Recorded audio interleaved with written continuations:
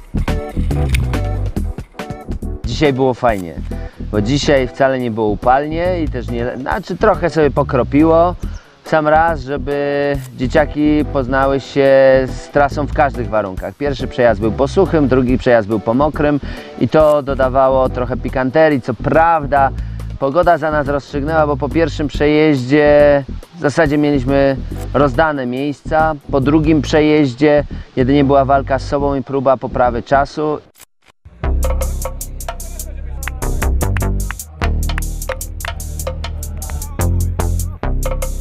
Dawaj, dawaj, dawaj, tempo, tempo!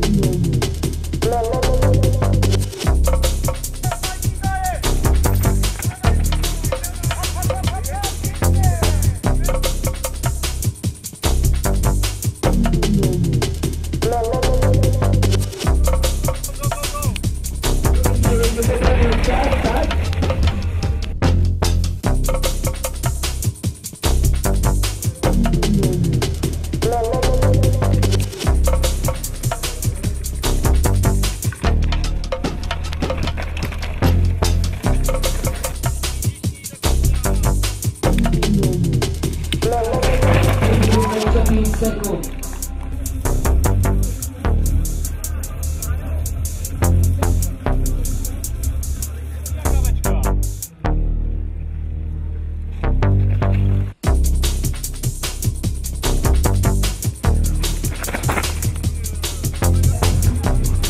walka.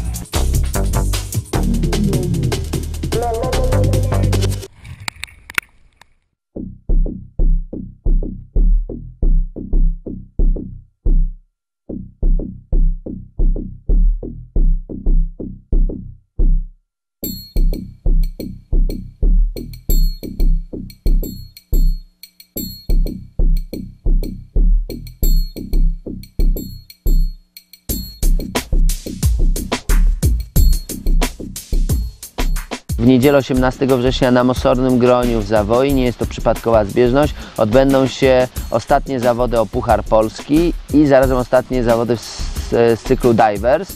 E, dlatego prawdopodobnie przesuniemy finałową edycję Pucharu Skrzata o jeden dzień. Dzieciaki będą się ścigały w sobotę na Mosornym Groniu na specjalnie do tego przygotowanej trasie.